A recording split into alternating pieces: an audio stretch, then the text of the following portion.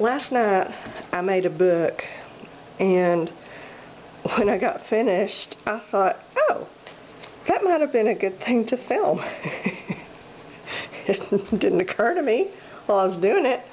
So I thought I'd make another one to show you how I did it in case anyone's interested. But before I do that, I have to show you what I got in the mail the other day. I've had it for a few days and then I keep forgetting to thank her for it. I got the prettiest card.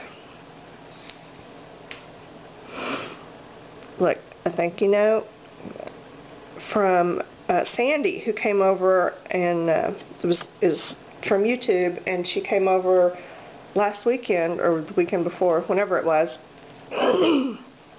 when I had YouTube over to my house to play, you know. And then she sent me this gorgeous thank you note, which you know was so not necessary at all. I mean, it was my pleasure, but I'm so glad she did send it because it's so pretty. um, and it she's on YouTube. She's Sandy Girl 992. Go check her out, Sandy Girl 992. And she sent this gorgeous kind of um, muted, neutral, colored thank you note with these paper flowers. They got a little squished in the mail, so I fluffed them back up just a little bit. And she's even got the, the little torn section with the texture thing underneath. And it's just beautiful, absolutely beautiful. And then in the inside, she has a little coordinating piece of paper that she wrote a note on. I mean, it was just so incredibly well done. And when Sandy was over here, she was kind of kind of complaining, well not really complaining, but she was kind of talking about how, you know, everything she does is shabby chic, shabby chic this, shabby chic that, with all the flowers and stuff, and she acted a little bit frustrated about it, but she does it so well. I mean, it's obviously, girl, I think it's your thing. I mean, there's certainly nothing wrong with branching out and trying other stuff, but, you know, if you have a style, don't deny your style. I mean, go with it. It's, you know, I mean, it's obviously you enjoy doing it. Um, you do it well. Uh, embrace it, you know? So, um, anyway, this is just, I was very surprised and uh, pleasantly surprised. And this is a definitely a treasure, Sandy. Thank you so very much. Thank you for the thank you note. And see, I feel like I should send you a thank you note for the thank you note now. but, you know, don't hold your breath because I'm bad about that. so this is really beautiful. Thank you so much. okay. Um, the book I made, I was, uh, you know, I did all these Citra Solv backgrounds, and I got them, like, out the wazoo, and I thought, all right, I can just add them to my stack like I usually do, or I can just get busy and do something with them. So I decided to get busy and do something with them. And I wanted to make a book out of some of the sheets, but I did not want to fold them. I wanted them um, to be, this is my prototype book, I wanted to keep them flat, you know, so I wanted a loose leaf binding is what I wanted. I, I am kind of I'm not really opposed to, you know, binder rings or machine binding. It's just not my favorite. Binder rings or, you know, poking holes and putting ribbon or whatever is fine for me, but it's it's sort of a like a, a quickie, uh, you know, just a quickie project, just, you know, binder rings be done. And that wasn't really what I wanted here. You know, I wanted something kind of cool, something different, something neat. I didn't want to do the binder rings. I don't have one of the machines to do like the coil bindings, and I've I've gone back and forth on whether or not I should actually get one, and I may end up getting one someday if I can find a good price on one. Because there have been times where I've wanted, you know, just a simple, uh, quick binding and and I've wanted one of those coil binder things so I may get one. But I'm really I don't know maybe kind of a purist or I don't know what you call it snob. I hope that's not the word because I don't mean to be. This is just my preference is to do if you're going to make a handmade book go handmade all the way. You know do the binding in in some interesting way. Doesn't have necessarily have to be sewn but it does need to be something um, in in my world, I want it to be something more than just you know poke holes and stick binder rings in. I want it to be a little um, a little more interesting than that. so what I decided to do is I made up, you know, anytime I do a binding that I'm not real comfortable with, I haven't done it a lot, or it's brand new, I always make a prototype first out of just some scrap papers or whatever before I do the real thing. And this was my prototype book to kind of play with to make sure that it worked. Um, I'd done one similar to this years ago, and I have trust issues with this kind of binding.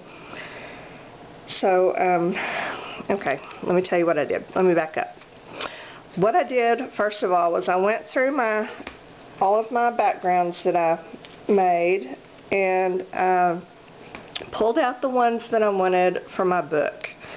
Uh, not for my prototype book, for my real book. And the ones that I chose, this is the stack I chose, and they're the ones that had interesting patterns on the front and the back. They're two-sided.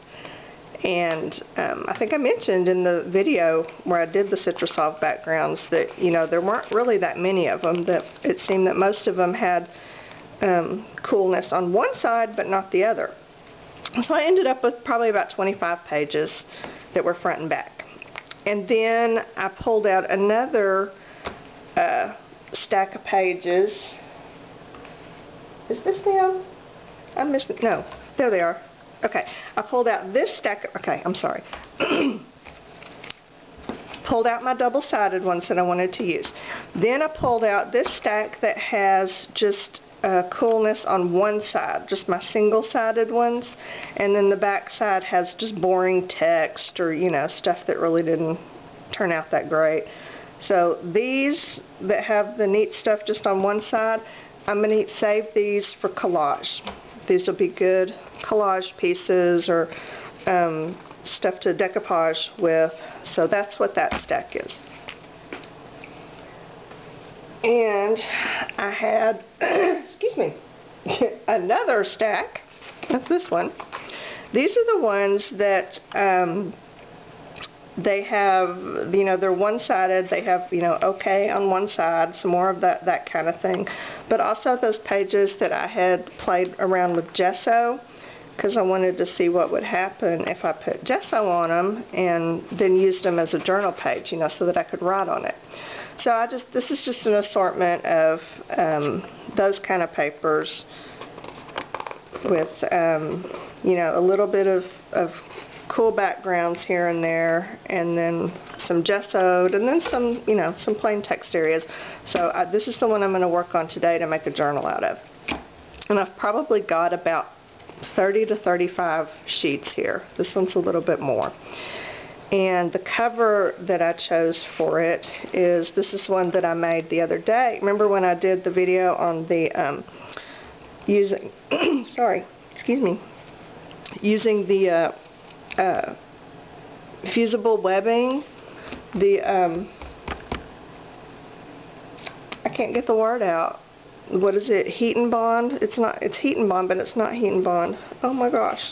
It's, you know, the stuff, it comes on the roll. Okay, I wonder how long it's going to take for me to come up with the word for, um, okay, it's fusible webbing. Anyway, ah, Wonder Under! There it is! Wonder Under! I knew I would get it. okay, sorry. It was a little victory. It excited me. Okay, I used the Wonder Under to make the fused paper backgrounds. You know, I did that a few videos ago. And this is one of the ones that I made when I was doing all those. And then I just did the, it was with a dress pattern and some magazine pages, and then I just did this, you know, squiggly on the sewing machine. And it's, it's kind of cool. So that's what I'm going to use for my cover. And here's my guts. Don't want to fold them. Don't want to poke holes and put rings in it. So what are my options? Basically two. I can do a uh, stitched stab bound binding or I can do a glue binding. Okay, the glue binding, I've done it. it works, but I have severe trust issues with it. Even though it worked, like, okay, this one, I've done the glue on this one. I don't know if you can tell. These pages have glue along the edges. They're in there. They're in there good. They're not going anywhere. You know, I can open it, spread it out. You know, they're good. But I am just convinced that the whole thing's going to fall apart at some point. And especially the way I use journals. You know, I'm pretty hard on them. I add stuff, and they get fat, and they, they I put a lot of stress on the spine. So, oh, it's my move and word with, words with friends. okay, I'll get that later. Um, so anyway, I just, I don't trust this. I, I need something a little bit more. So I am going to do a stab binding, just the traditional Japanese stab binding. It, it's usually called a four-hole binding, but I'm going to use a lot more than four holes because um, I have stress issues. I, I need more. I need more holes because you know that's just it. So I'm going to do. I'm doing the gluing and the sewing. If you do this and you're comfortable with just the gluing, you can call this done right here. If you don't see any point in doing the gluing and the sewing, you can do just the sewing. Um, but if you're like me and you just need some extra encouragement that your book's going to hold together, then you can do them both. So that's what I'm going to show you is the both technique. So, start out, gather up your papers. The hardest part about this, seriously, is the um, getting them lined up and clamped together so that you can glue them. If I had the right equipment for the job, this would be no problem, but I don't. I don't have a book press. I couldn't find any pieces of scrap wood that were the right size. Even I saw a video the other day where the guy used paint stir sticks, which I thought was brilliant. I don't even have those, okay? I have basically nothing. Here's what I have. Here's what I'm using. Um, and of course I don't have it ready. Hang on. I got it right here. I've got some, this is my little Ben O clamps. I've got some clamps. Now I have big, you know, heavy duty clamps out in the garage and if I had some scrap wood to do this with I would use those but since I don't I'm just going to use my little bookbinding clamps and then I've got two pieces of uh, kind of a cross between chipboard and mat board. It's it's a little heavier than chipboard, but not as heavy as mat board. So there we go.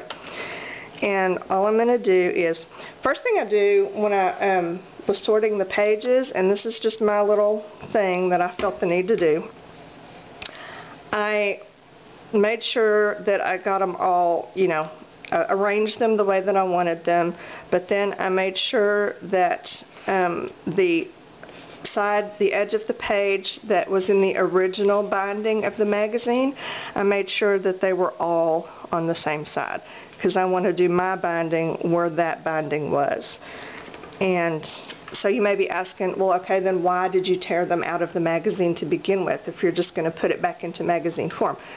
With the Citra Solv technique, you have no choice because it dissolves the glue from the magazine binding and they come unbound. I mean, the whole magazine, if you look back in the Citra Solv video, you'll see that the magazine is falling apart before I even start pulling pages out because it, it dissolves the glue. So that's not an option. You do have to rebind it. Um, so I just made sure that I had this edge. And since they do come out so nice and neat, since, you know, the glue melts, you don't really have to tear them out. So, you know, there's no there's no really obvious ripped edge on some of them. It's hard to tell. So what I have to do is run my finger along the edge. Oh, look, I had this one wrong. It goes this way. Run my finger along the edge so that I can feel this is rough. That's where it was bound. This is the smooth edge. That's the outside edge. So there we go. So that was just my little, my little, you know, anal retentive thing that I did. Now, what you want to do is just stack them as best you can. This is kind of a junk journal type thing. You know, it's a, a, a mixed media type journal. It's not a perfect, clean blank page journal so you can get away with a little bit more imperfections. But you want to try to get that edge, all those pages just as even as you possibly can all the way across. And then I just put these little almost worthless pieces of cardboard right along the edge. They really serve almost no purpose, but I do it anyway because I feel like I should. And I don't want them touching the edge of the paper because this is where I'm going to do my gluing and I don't want to glue the cardboard to the book. So I back them off just a little bit. Back them off just a little bit.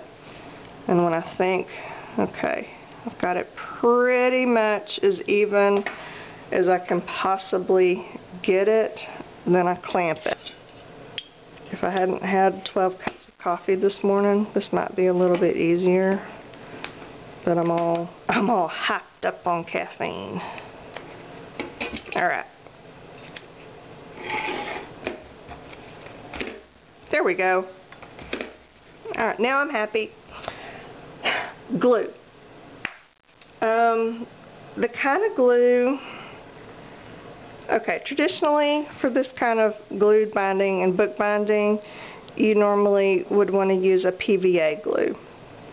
And that is usually your typical white glues like Elmer's. Um, I hate Elmer's. I, I find really very few good uses for Elmer's. It just irritates me. So the one I had handy was this one. Um, Aleene's this is the quick dry tacky glue. Um, it's a little bit thinner bodied than her regular tacky glue. And you know what? I don't even know. I, it's a white glue, so I'm guessing that it's a PVA, but I really don't care. you know, it worked. It was good enough. So this is what I'm going to use. And this is how I do it. I just take, okay, leave, leave one end clamped tight unclamp the other end make sure your little dudes are straight even lined up and then put the glue on. And I kind of um,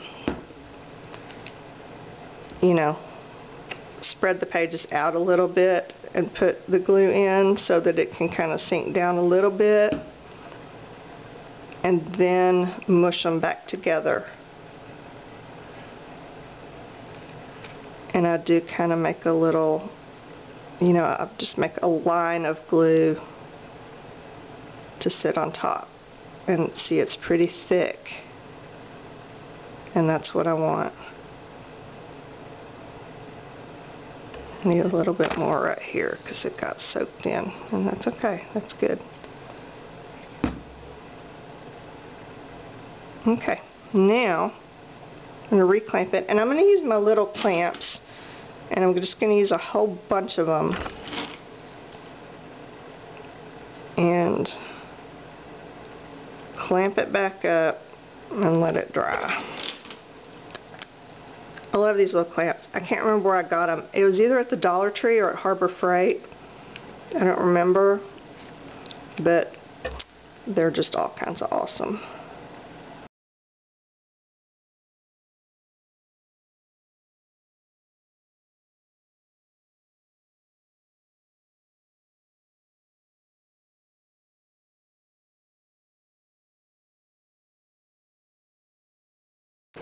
Once you get it all clamped, then you just, sorry, you just want to let it dry.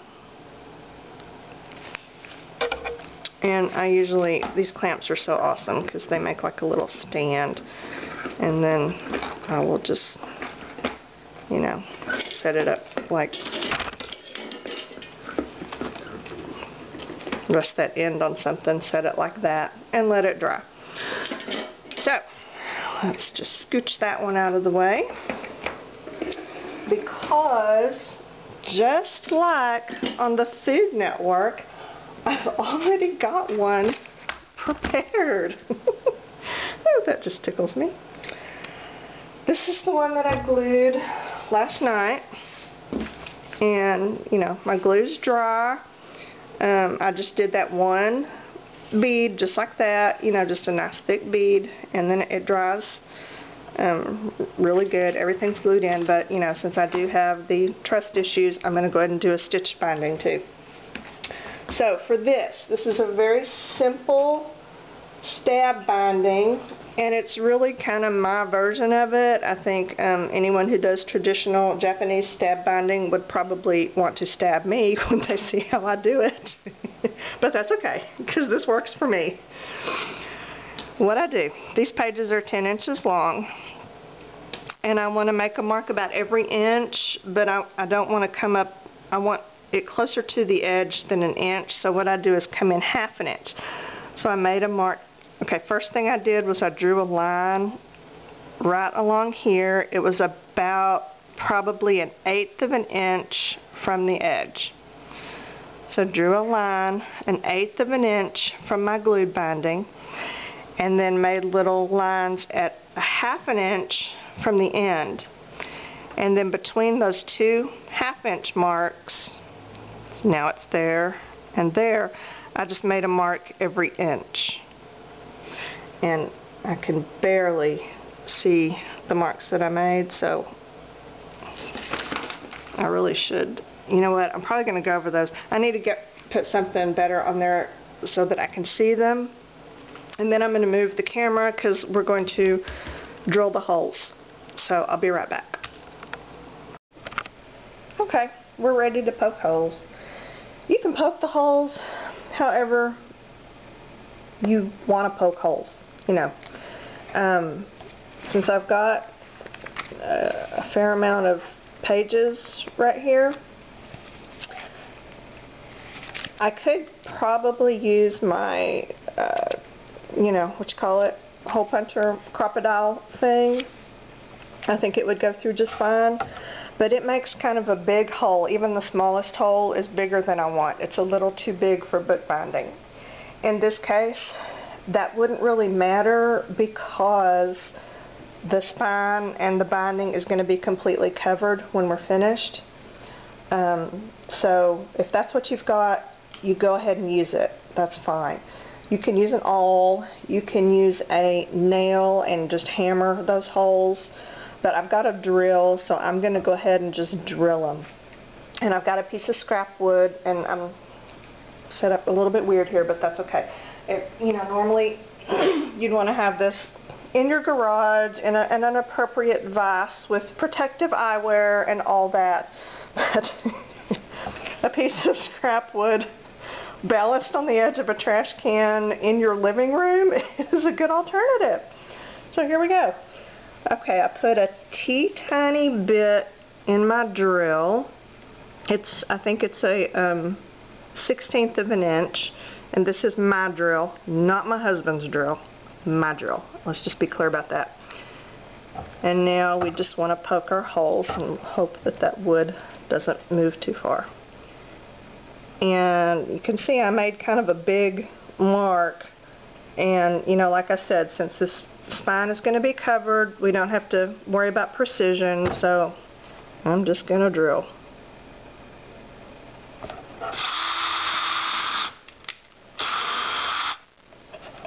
and a drill, go ahead and, this way I do it, I just drill down into the wood because at least then I know I've gone all the way through. There we go. So, I'm going to go ahead and drill the rest of these.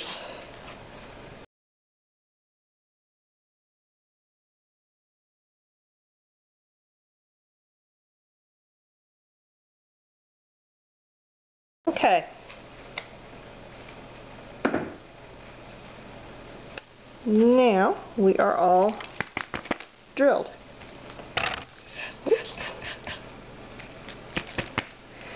I do want to say that if you decide to do the stitch binding without the glue, you need to come out at least a quarter of an inch from the edge instead of the eighth of an inch because without the glue, if you bind right there, there's a good chance it could pull through because that is right on the edge. So if you don't do the glued binding, uh, come in at least a quarter of an inch. But if you have the glue and you do the stitching, you can just go right up to that edge, you know, an eighth of an inch. So, let's sew. Okay, now we're going to sew. I've uh, zoomed in kind of close so that you can see what I'm doing. I hope it's focused. I'm never quite sure.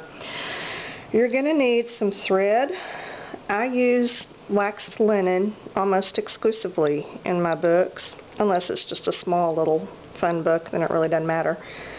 Um, you can find waxed linen at Michael's and Hobby Lobby. They usually have it over where the jewelry and uh, beading supplies are. Wherever the beading thread is, that's where the wax linen is. Sometimes you can find it where they have like the leather cording and stuff. So, um, and it's not it's not expensive, two or three dollars for a roll, I think. So you, you need some wax linen, excuse me, or just a good heavy um, string if you're just practicing. And you need, let's do about three lengths of the book. Cut off a piece about three lengths. So one, two, three. I usually cut way too much, but I would rather have way too much than have too little and have to tie another piece on. Then you need a needle. You can use a, a bookbinding needle or a tapestry needle. Really the only difference, let me see if I can find one of each. Oh, I know you won't be able to see because I won't be able to get close enough, but maybe, well, crud. I can't find a, um, are all of these book needles? Surely not. Oh, here we go. Tapestry, right here. and I can't pick it up. Ah, okay. Tapestry needles are usually, um, they have a smaller eye at the top and they're very pointy at the bottom and, and you know, if you do this, you go ouch. Um, that's a tapestry needle. It will work fine because you just need a, a, a, big needle, big enough to go um, poke through your holes good because sometimes you do have to kind of ream them out a little bit and and big enough to hold whatever thread you're using so tapestry needle will work fine or a book binding needle like this they normally have a much larger eye and they're blunt on the bottom. When you do this you don't go ouch. They're just very blunt. So that's a book binding needle. And that's what I use. Thread it. And the great thing about wax linen is that it's waxy so you know it stays put. Now you start this is this is my book oriented correctly and I usually always start at the bottom and to begin what you want to do is you want to come up through the first hole at the bottom and that's that's what I'm going to say. I'm going to say up through or down through. Up through means from the back to the front. Down through means from the front to the back. Even though I may have the book turned all weird, you'll know what I'm talking about when I say that. Leave a tail, a couple of inches, because at the end you just need enough to tie your thread off, and then I usually clamp it so that um, I won't end up pulling my tail through while I'm sewing. In this stitch, it's um, we're going to go up this way and then turn around and come back this way. These stitches that we go up are going to go um, hold a hole like this. And then we come back this way we're going to go around the spine like this. so very simple, very, I mean it's almost intuitive once you get started. And you know you don't have to be a, a, a sewer person to get this because I'm not a sewer person and I can still do this because uh, all you have to do is just do it. You may have to do it two or three times but just do it. You can do it, I promise. Okay, we came up through the first hole at the bottom. We're going to go around the bottom edge like that and come back up through the same hole. And all you have to do is, when you go up through a hole that you've already been through, just be careful that you don't split your thread. Make sure your needle does not go through the middle of your thread.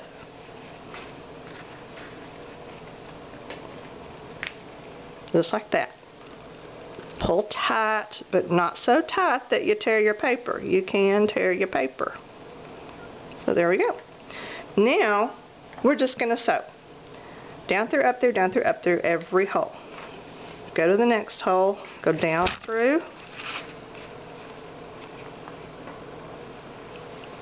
go to the next hole and go up through.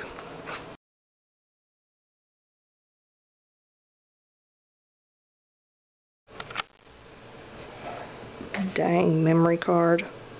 Okay, I'm ordering a new memory card because this, you know, every half hour thing, it's just not working for me. So I'm going to get me a great big one that will hold like four hours of video. I should tell you what I'm doing here. Down through. Now, when you get to the end, where we went down through our last hole, now you want to come up around the end, like we did down there, and go down through the same hole.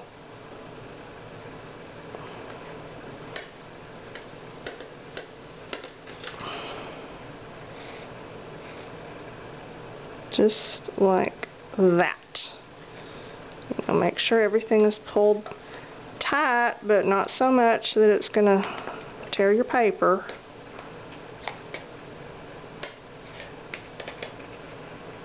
Tighten it up just a little bit.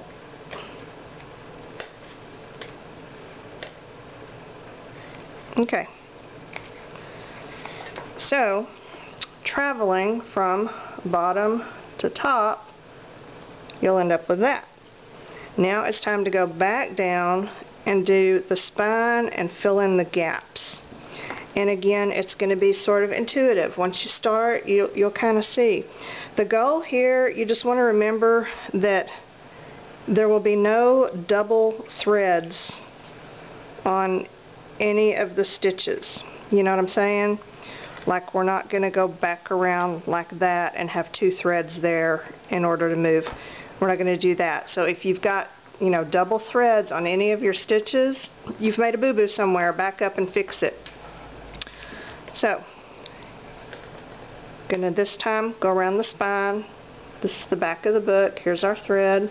Just bring it up and go down through this same little busy hole. It's gotten a lot of action so far. And pull it tight. So now we have a little stitch on the spine. Now we need a little stitch on the next spine, but to get there, we have to fill in this gap. So let's go up through.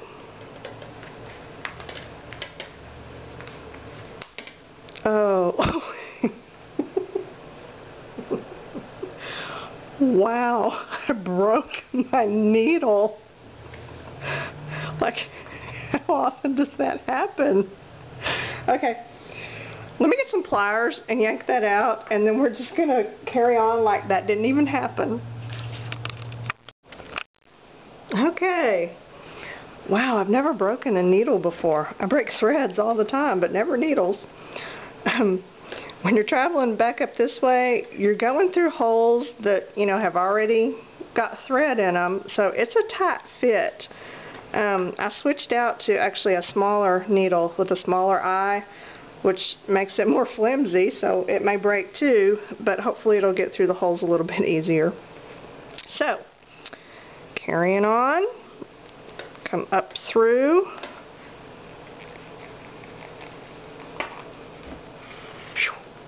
I was worried there for a minute, weren't you? Back around and up through again. And this is where you really have to watch about splitting your threads because you got a lot of threads going through the same hole. Okay, there we go. Now we've got two spine stitches. And you see, it's, it's intuitive because it's very obvious where you go next. You're filling in that gap. So down through and if you need a pair of pliers to help you pull the needle through, you can use it because they, you know, they get slippery and the wax from the linen gets on your hands. So you just got to do what you got to do.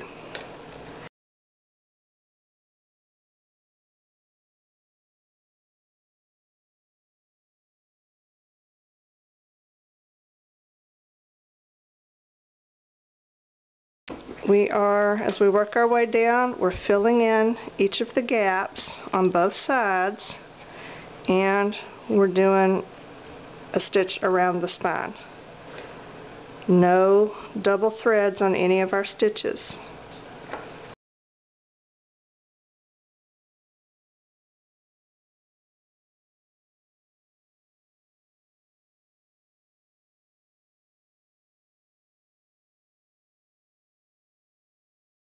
Okay, we're up to our last stitch. We're in the back side here. We've got one gap left. So we go up through,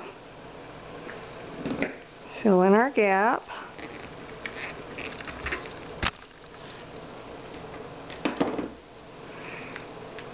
Now we're going to go around. Normally we would go up through again, but that would put my tail here, and I don't want it here. I want it here. So we don't go up through. We just go around and we tie it off. And then that will complete our binding. And I usually kind of, I will run this underneath here like that just to hold it secure. So these are kind of right there. Pull this off. And then just tie a good knot, whatever kind of knot you normally tie. Square knot, granny knot, fancy nautical knot, whatever. The This is where wax linen is so awesome because it kind of sticks to itself. So it um, doesn't come untied very often. And then I just kind of push those down. And we're going to have this covered anyway, so we're good. So there we go. That is the traditional Japanese stab binding, four hole binding with um, one, two, three, four, five, six, seven, eight, nine, ten holes. We're done. Okay. All that's left to do now is to cover this. And um, let's check on our other um, set. This this really wouldn't be a signature in this case. It would be a text block. So yeah, our text block is still not quite dry. So gonna leave it be. And let's just make a cover for this one. And what I want to do, okay, this is a really good time to use up some of your painted papers and and you know backgrounds and things that you made for a reason that you're not sure of, well, this is that reason. Because these work really well for this. Oh, okay. I'm going to have to uh, refocus. Hang on.